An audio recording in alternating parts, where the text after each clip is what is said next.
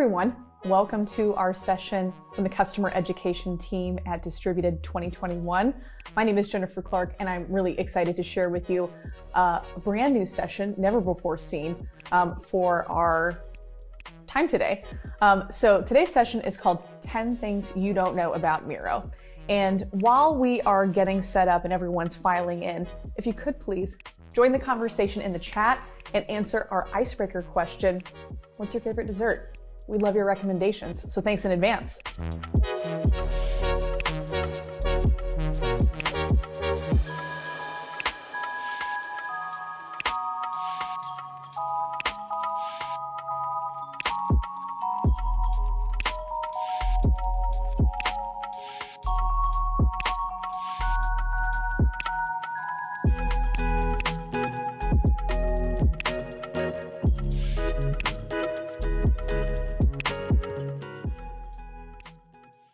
Like I said before, my name is Jennifer Clark. I'm today's educator. I'm a customer education manager here at Miro, and I've been an adult educator for the last 10 years, and I'm really excited to bring to you today some advanced or intermediate tricks that you might not have noticed uh, when exploring Miro for the first time. So if you haven't yet mastered the basics, we've got another session called Getting Started with Miro with Giovanni that you'll definitely want to catch. Um, but this session is going to show and reveal to you some top tips and tricks you might not have tried yet. Uh, so I'm really excited to take you through today's session. But before we begin, let's cover some basics about what is Miro. Uh, it's an online collaborative whiteboarding platform. So it's online in that you can access it from any device, uh, be that your desktop, your laptop, your smartphone, or your tablet device. And you can download the app or open it up in any browser window. It's also collaborative. So not only can you create content and then share it with others in Miro, you can actually bring people into Miro with you and co-create content together at the same time, which is my personal favorite. It's also a whiteboarding tool. So anything you would expect to be able to do on a physical or digital whiteboard, you'll be able to do in Miro. And I'll show you some of those tricks today. And it's also a platform. So Miro already integrates with many of the tools you're likely using on a regular basis. Uh, so check out our marketplace for some integrations, and we'll show you a couple of those too in today's session. All right, great. So now that we know what Miro is capable of, let's talk about our sessions today. We're actually going to count down our top 10 favorite tricks, maybe some tips you didn't know about Miro. And I'd love for you to count along with me. Um, so maybe you know all 10, in which case, kudos to you. Um, we owe you a drink um, if you know all 10. Uh, but count down with me. We'll go one by one and just kind of jot down on your own piece of paper whether you knew this trick or you learned something new and tally it up at the end and, and see how you do. All right. So with that being said, let's get going with our first trick, top 10. Uh, number 10, connect with precision. So I'm going to leave facilitator mode real quick and just zoom out a touch so we can see our board. And I've got two shapes here and I'd like to connect the dots. Uh, maybe you've already tried this before, where you click on a shape and then you drag from any blue dot um, on each of the edges uh, to connect in a straight line um, from one object to another. But, you know, if you'd really like to make sure that your lines always match up uh, against like a 45 degree angle or just like a straight edge, hit the shift key on your keyboard as you are dragging. And if you'll notice, my cursor is showing these like really kind of precise guidelines, just holding the shift key on my keyboard while I am dragging from that line, making sure that I'll always connect with like a super straight line um, every time I'm connecting between objects. So our 10th tip is to connect with precision. Hold the shift key while you're clicking and dragging from one shape to the next, uh, and it'll connect you with a really straight line and give you those guidelines. All right, well, that was an easy one. So maybe you knew that one already. Let's see if I can stump you with this one. And I'm calling this one unfurl your presentation. Now, this is going to work with, uh, you know, presentations like slides or PowerPoint. It'll also work with a PDF. And all you'll need to do is upload that file to Miro, and then I'll show you what you can do with it. So again, our upload tool is over on the object menu on the left-hand side. It's this upward facing arrow inside that box that says upload. And you can upload directly from your local device or from a cloud-based storage solution like Google Drive, for example. And I just pulled, you know, a simple template um, from my Google Drive just right here. I uploaded it to the board.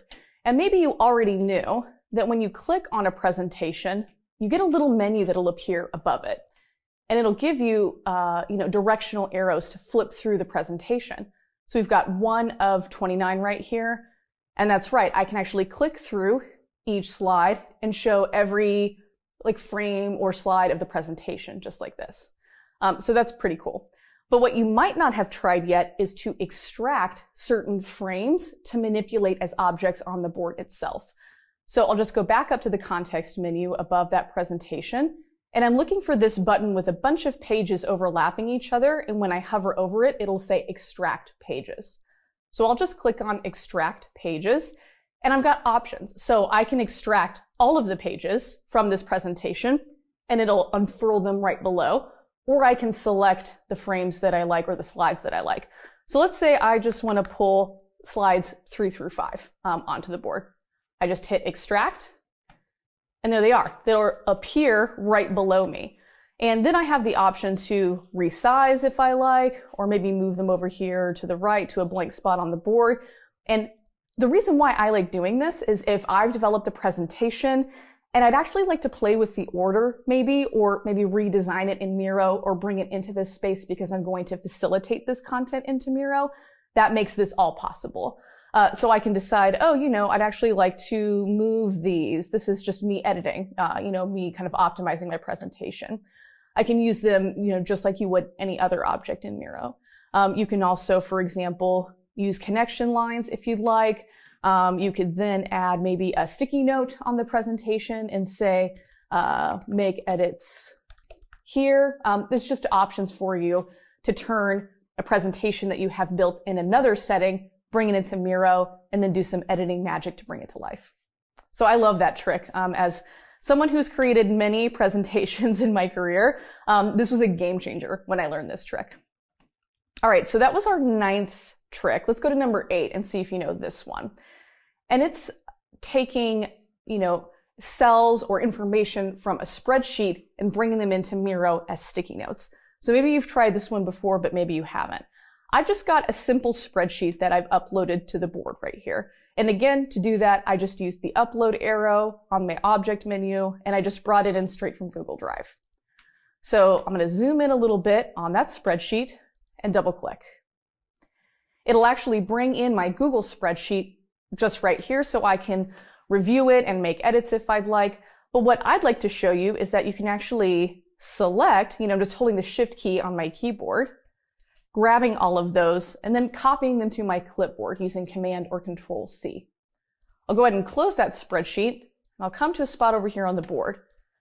And if I paste them on the board, I don't get just a bunch of floating text.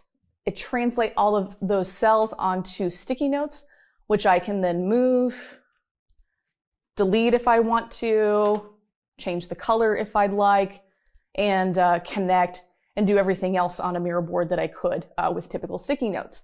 So I really like this tip if I'm bringing in feedback, for example, um, from, you know, maybe a customer survey and I'm, you know, organizing them as sticky notes for affinity mapping or tagging them for a teammate. Um, I also like it because it just makes them so much more flexible and movable on a Miro board. Um, so that trick is really cool. This will work with any spreadsheet, but if you'd like to host the spreadsheet and edit it in real time in Miro, that'll work with Google Sheets. Uh, so check that one out. All right, great. Let's count down to number seven, our seventh tip. And this is to tidy your board. It's to make things look a little neater and look a little bit more organized and also to play uh, a little bit around with some sticky note packs and creating them in Miro itself. So as you notice on my frame right here, I've just got a ton of random sticky notes all kind of floating around, different colors all over the place. And let's say I'd like to actually get these organized in a certain setup. So the first trick I'd love to show you is to select all of them, shift click drag on your keyboard, shift click drag, and I'm going to catch all of those sticky notes in one go.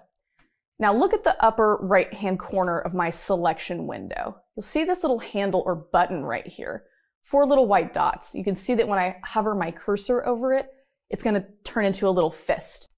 So we'll have this little grip right here. And when I actually click on that handle, Miro automatically wants to sort all of these sticky notes into even columns and rows. And as I move my mouse from left to right, I can change the number of rows or columns that I have, which makes that really handy, makes it easy to organize. Now, one more trick I wanted to show you. While I have all of those sticky notes selected, you'll see that in the context menu above, I've got an option over here that is aligned with like two black squares, black rectangles right here. And when I hover over it, it says align objects. And that's right. You can actually align and justify things to the left, to the right, on the bottom, or on the top. But the trick I wanted to show you is to use align to create a single sticky note pack, much like a physical one that you'd have on your desk at home. Um, so for example, I'm going to go over here. I'm going to come down and it's a two-step process. I want to align horizontally and then align vertically. So if I've got a bunch of sticky notes selected, the first step I want to do is to click align horizontally. Okay, great. We're almost there. Click on align one more time and then align vertically and check that out. I've got a single sticky note pack, really deep drop shadow here, so that as I click and drag each of these sticky notes and people take one off the top, they've got a different color, they've got their own option. Um, so I love that. Using Align to create your own sticky notes pack and to get things organized and tidy on your board, it's a really good tip um, if you're hosting a workshop or a brainstorm. All right, cool. So now we've got our seventh tip. Let's go to our sixth tip. Hopefully you're still counting down with me. We're going to talk about exporting specific frames um, from the board. So maybe you've tried this before to take something you create in Miro and then export it so that you can bring it to another spot. For example, um, attaching it, attaching a PDF to an email or embedding the board um, in another application like Confluence so that people can interact with it. Um, I really like being able to export specific frames so that if I'd like to share a specific piece of work with someone that I've done in Miro, I can target their attention on one area, not have to show them the entire board. So let me take you to a blank space, a little bit of a presentation that I dropped right here on the board. It's just a little presentation template um, that I pulled from our template library. Um, so I've got all of these different frames right here, these different kind of slides of my presentation.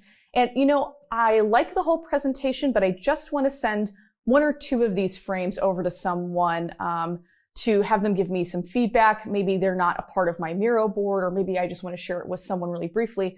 Um, I can select two of these frames. So let me go ahead and do that now. I'll select this frame and then hold my shift key and select that frame so that I can select both at once. I'll go to the context menu right above it and those three dots all the way to the right, I just click more. And then what I'll do is export as PDF, my first option, or if I select both, I can also find that option, sorry, I can also find that option in the upper left-hand corner next to the title of your board, export this board. Um, so I could also do it that way. Um, but to keep it easy, I'll just go ahead and hit the shift key, select both frames, three dots in the context menu just above, and we're going to export as PDF. And that's really great. I can then choose the quality that I'd like, hit export, and it will take those two frames only from the board instead of the entire space. So it's a quick way to get a more targeted uh, export of your board. All right, so do a quick check-in, look at your scorecard. How many did you know or did you learn so far? Let us know in the chat. Um, I'd love to see. Okay, great. Okay, so now that we've learned how to export specific frames, let's go to tip number five, and that's customizing your toolbar.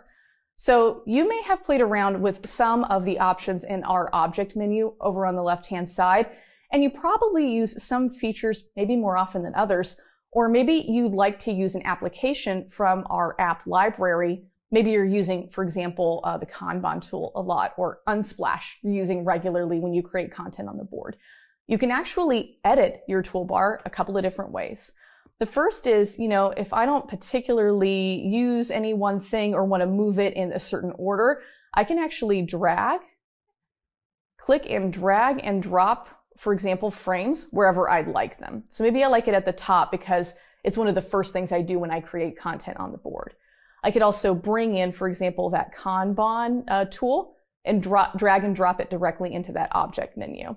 So that's a really handy way to customize, get this in the order that you like, and then bring in applications that you use on a regular basis so that you have easy access to them whenever you're creating content. So customizing your toolbar. It's a really cool hack, and I like using this um, to just make making content speedier for me um, in Miro. All right, great. Let's keep going. We're now onto our fourth tip, and I think we've hit like the expert tier at this point. Um, this one really impressed me when I learned how to do this in Miro, and I use it all the time um, when I'm resetting presentations or resetting activities and workshops or trying to edit a lot of content at once. And that's using the filter button inside the context menu. Maybe you've tried it before. Um, so let's take a look at a couple of examples of ways you could do this. As you notice in screen right now, I've got a few different text boxes. They're all different fonts, they're different sizes, they've got different highlights, um, you know, they're all different. And maybe I'd like all of them to update at once. I'd like to get them all in the same font. I can do that. Um, so just click all of these text boxes. You can hold the shift key down if you want, just to make it even more precise. And as you'll notice, um, I can edit the content just right here. But let's say I just wanted to really quickly shift click drag and select this entire view. So I've got an image and text boxes included in this selection. But I don't want to edit the image, I just want to edit the text. So as you'll notice in the context menu that appears above, I see filter and it says five objects right there. And if I click on filter, I can actually tell Miro that I'd like to select specifically the text boxes or just the image. And since I want to edit those text boxes, that's what I'll select. So I'll select those text boxes and then I can make some changes. So I can change the font for all of those right there. I can change the size.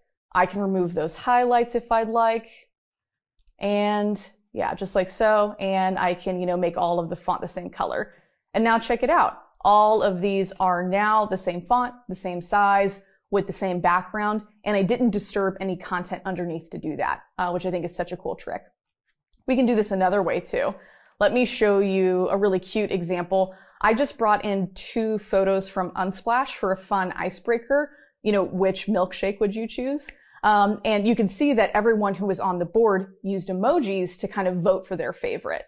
Um, and you know that was really fun. And now I'm tidying up the workshop. I'm getting set up for my next session, and I'd like to you know kind of reset this space so someone else or another group can come in and vote with emojis, right? Um, so I don't really want to hand click every single one of these emojis and delete them. I'd like to remove them, just kind of wipe the board clean all at once. So to do that again, we're going to do shift click drag one more time, select everything in view, this whole area in view.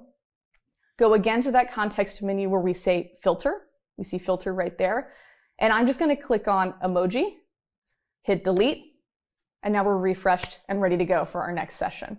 Um, so really cool trick using filter to reset the board really fast and to make some edits to content uh, really quickly. All right, so now we're in our top three tips, our top three tips. Let us know in the chat again, what's your score so far? I'd love to hear. All right, great. The next thing I'd love to show you is a really cool trick called Link To.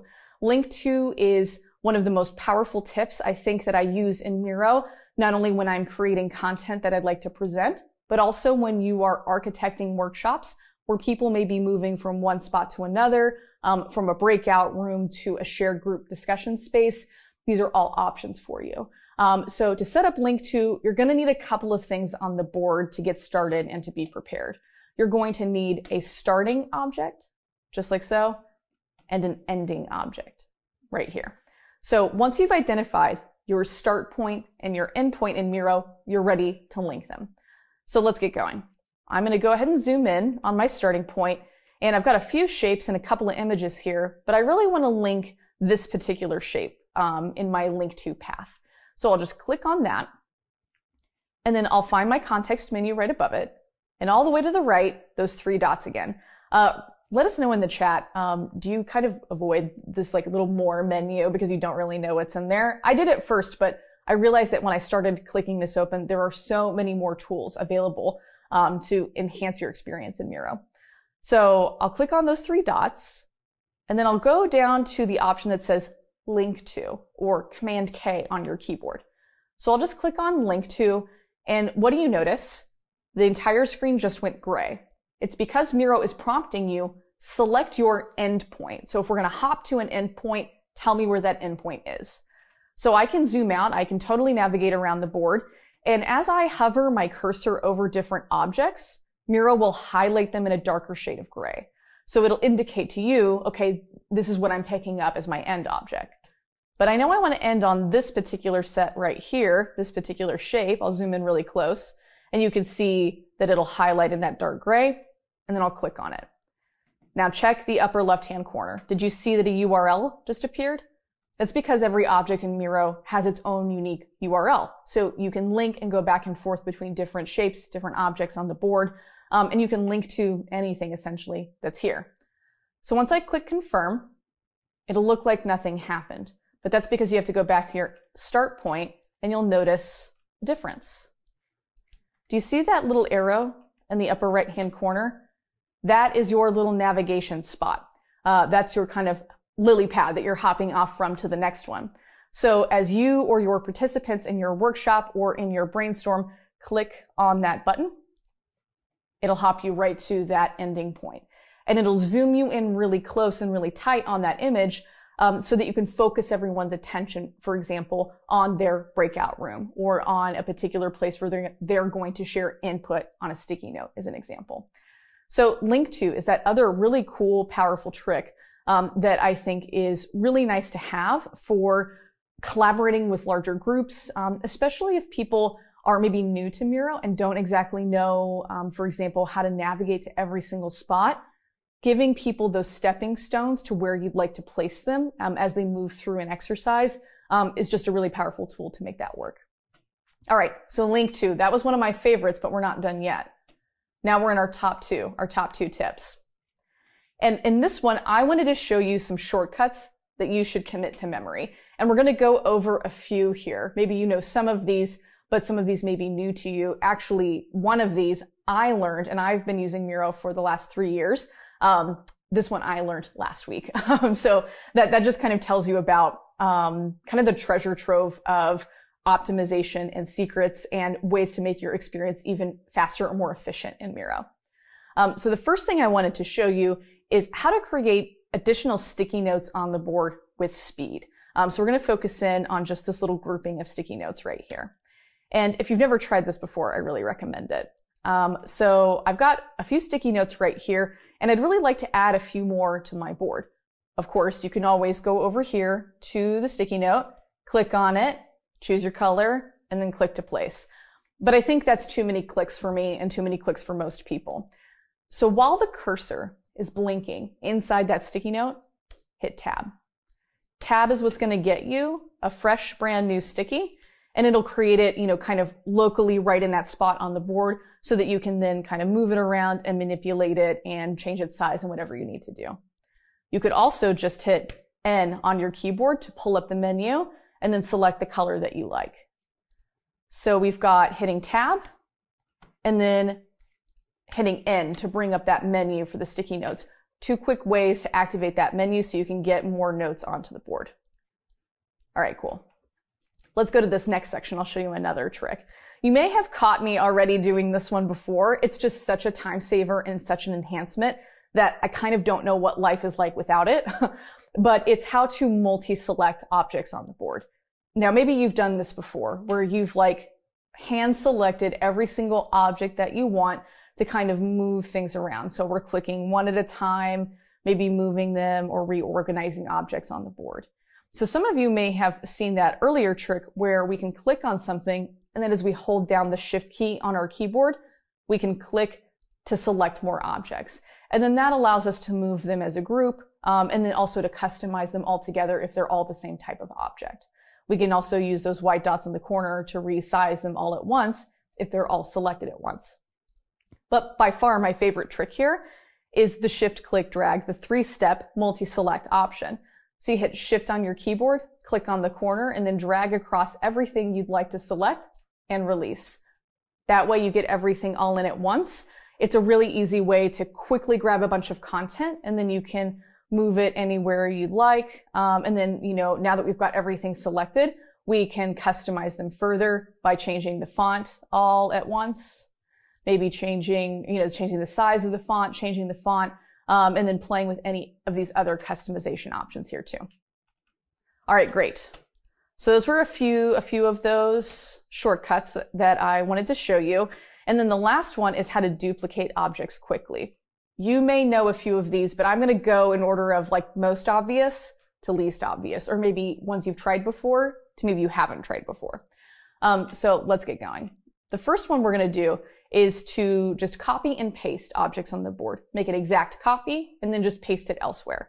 So I can hit Command or Control C on my keyboard when an object is selected, and then hit Command V to duplicate. That's really easy. You've done that before probably. So let's delete that one. Another one you might try in Miro is when you select an object, hit Command D on your keyboard, Command D, and that will make an exact duplicate right next door to the object that you were selecting. So then you can move that one around as well and change it and make your edits. But the one you probably didn't know about is using Option or Alt while clicking on an object to both make an exact copy and then put it wherever you want on the board right away. So I'll click on an object and then as I hit Option, I'm holding Option and dragging away I can select this kind of copy of that object and place it wherever I'd like on the board and then release. That makes an exact duplicate and you can place it anywhere you want on the board. It won't just populate right next door. You can drag and drop that anywhere you want. Um, and if you don't have the option key on your keyboard, try Alt. Uh, that's the option that you'll choose for that hack. All right, great. So those were some really cool shortcuts that I think you should commit to memory. If you'd like to explore even more shortcuts, I encourage you to go to the settings menu in the upper right hand corner, just one tick to the right of the share menu. The second option in that menu will say shortcuts, and you can explore um, a bunch of different shortcuts to make objects appear with just one letter. You have some general shortcuts that'll help you, um, and then some navigation and text shortcuts to make it even easier. Maybe you can graduate to a place where you don't even need a mouse um, to use Miro. I like the mouse, so I'm never going to give it up, but maybe you can try that. All right, cool.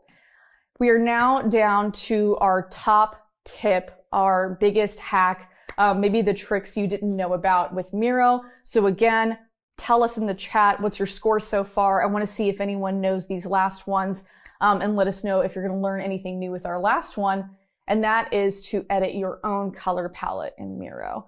And I'm going to show you the fastest way to do that, um, to really customize what colors of shapes or lines that you're going to be using in Miro to maybe make it match your brand guidelines or just the color palette that you want to work with for your content.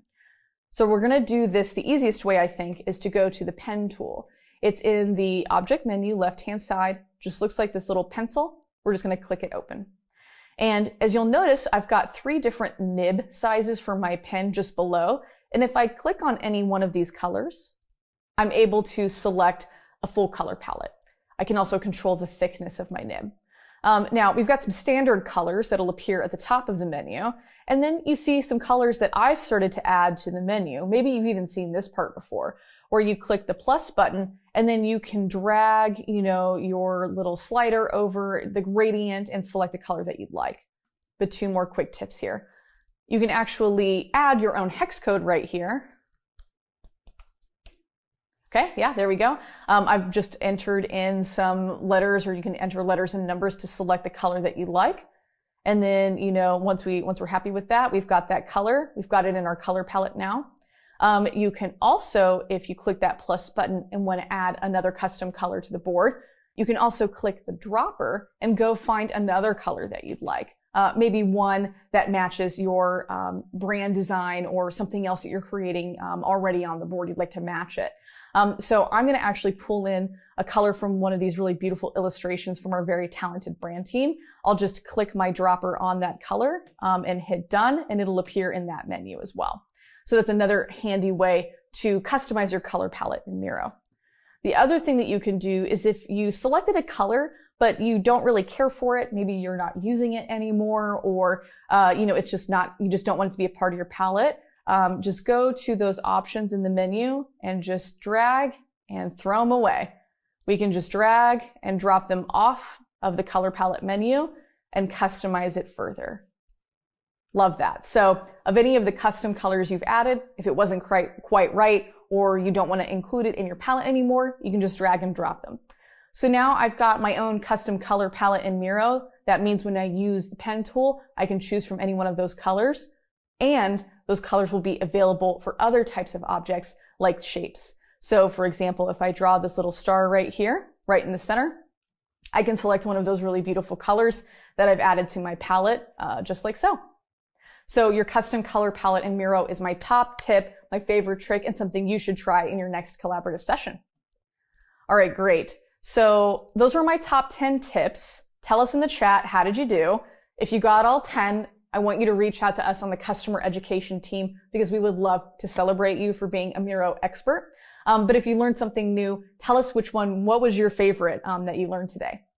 And while we're sharing what our favorites were, I'd love to orient you to even more resources to help you learn more um, about all of these secrets and surprises in the product, but maybe different ways you could apply your now advanced skill set um, to different use cases and different applications in Miro. Um, so the first one is to head to our Miro Academy. This is where we have all of our on-demand video-based courses that you can stop and start anytime based on your schedule. You can also come to more webinars with the live facilitation team. We teach multiple sessions every week and we'd love to see you um, in one of those sessions. We also have our help center, which has great documentation and FAQs, and you can explore some of those integrations and apps and see what you might like to add uh, to your own personal workspace. And of course, we'd love for you to explore our community, uh, connect with other Miro enthusiasts, get inspiration and advice from others, and even connect more about distributed today, learn a little bit more about what people's takeaways or inspiration moments were from today's conference. Um, and then of course our Miroverse, that's where we have our community sourced template library. You can explore a bunch of different options, uh, get inspiration for different icebreakers or uh, team meeting sessions, um, or maybe even do a really extensive strategy workshop, for example, that you can pull directly from an expert in Miroverse. I really encourage that you check all of these out. And, you know, a really handy way to explore all of these at once is to go to the question mark in the upper right hand corner. You're going to see our in-app learning guide where you can explore different tutorials. You can go straight to the academy if you wish. Maybe head straight to our webinar page where you can sign up for more sessions with us, the live team, um, and explore other resources and information to help you out. All right, great. Thank you so much for joining me um, for the last like 45 minutes or so. I'm so grateful for the time we had together to teach you more about our top 10 favorite tips and tricks in Miro. Um, please check out our other webinars and we'll see you in our next session. Bye.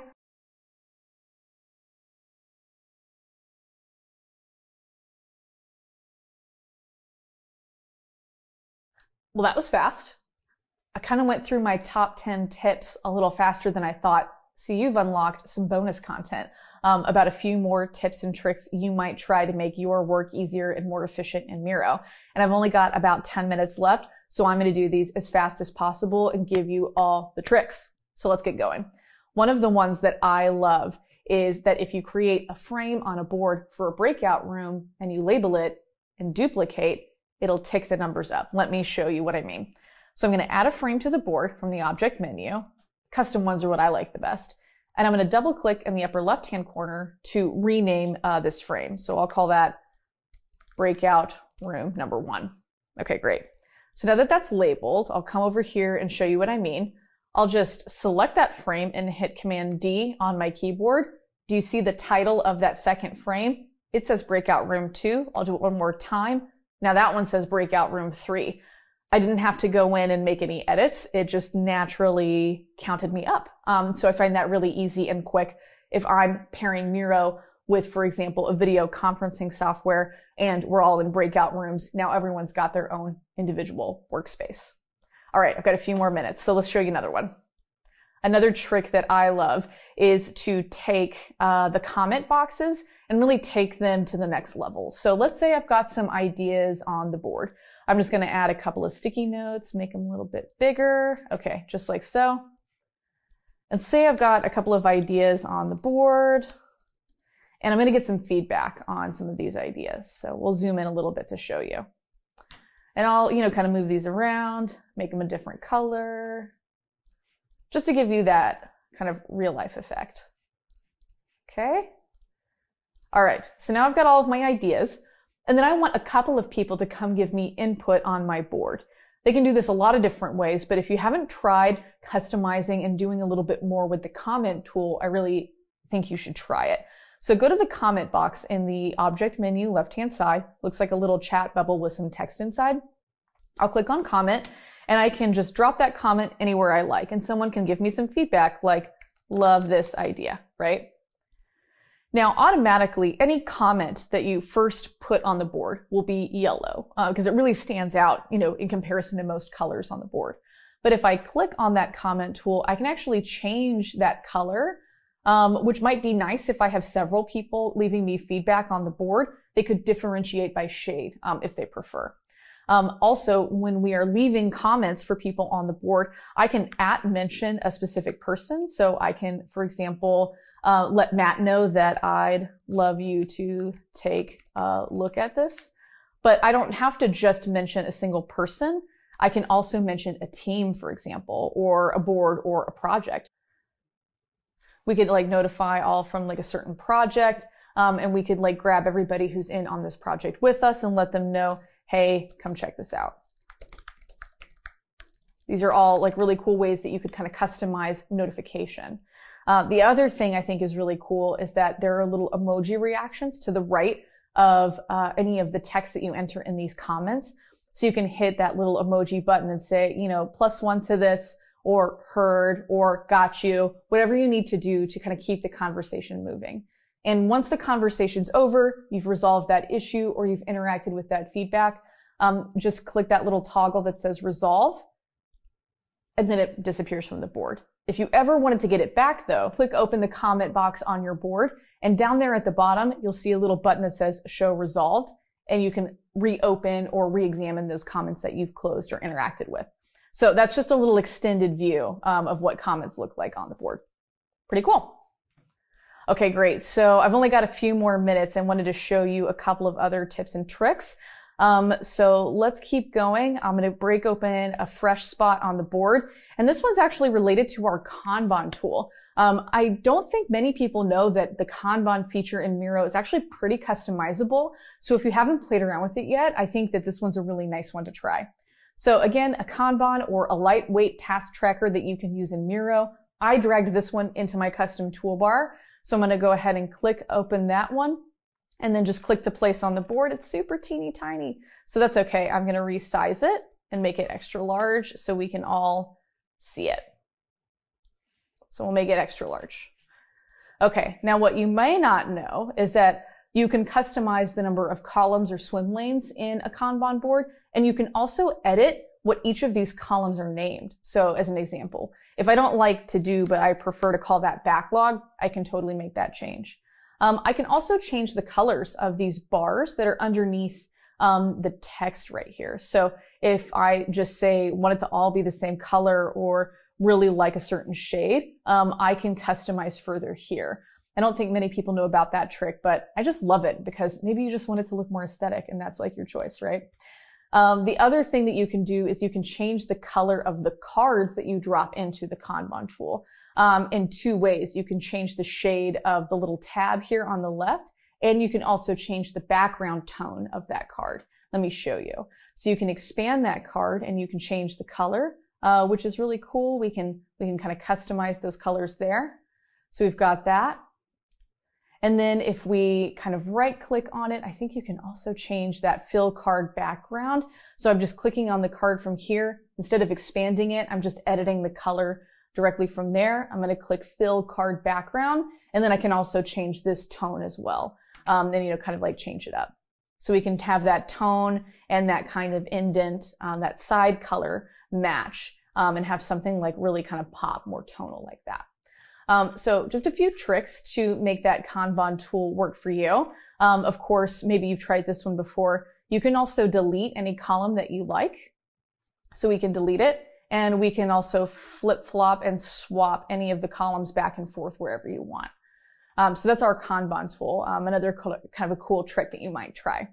All right, so let me go to my last little frame here. I've only got a couple minutes left, so we got to get kind of speedy. I'll show you a, one more trick, um, and that is with adding board objects to our note feature in Miro.